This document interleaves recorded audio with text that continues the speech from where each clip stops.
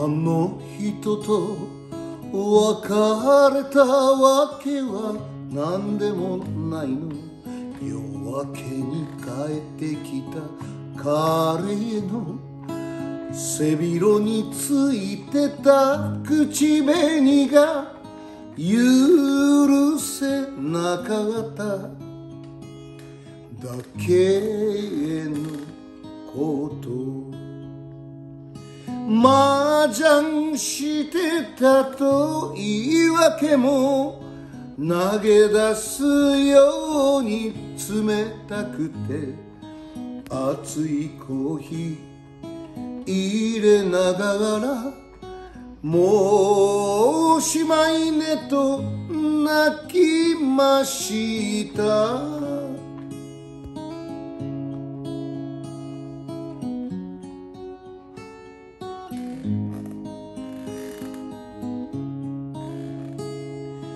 あの人と別れたわけは何でもないの。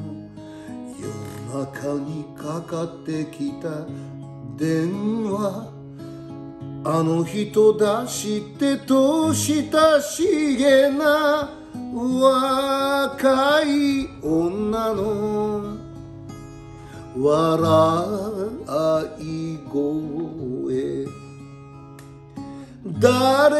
と責めても答えない。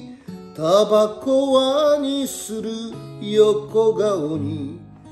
男心を見たようで。もうこれきりねと泣きました。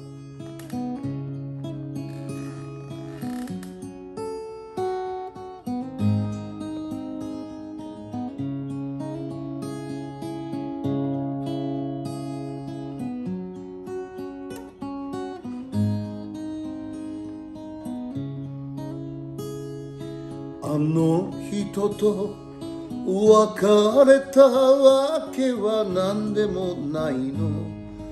お休みぐらいはうちにいて二人でゆっくりしましょうと甘い約束した後で。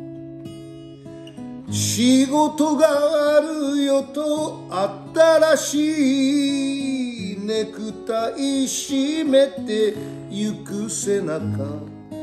ドアにもたれて見送ってもう今日限りと泣きました。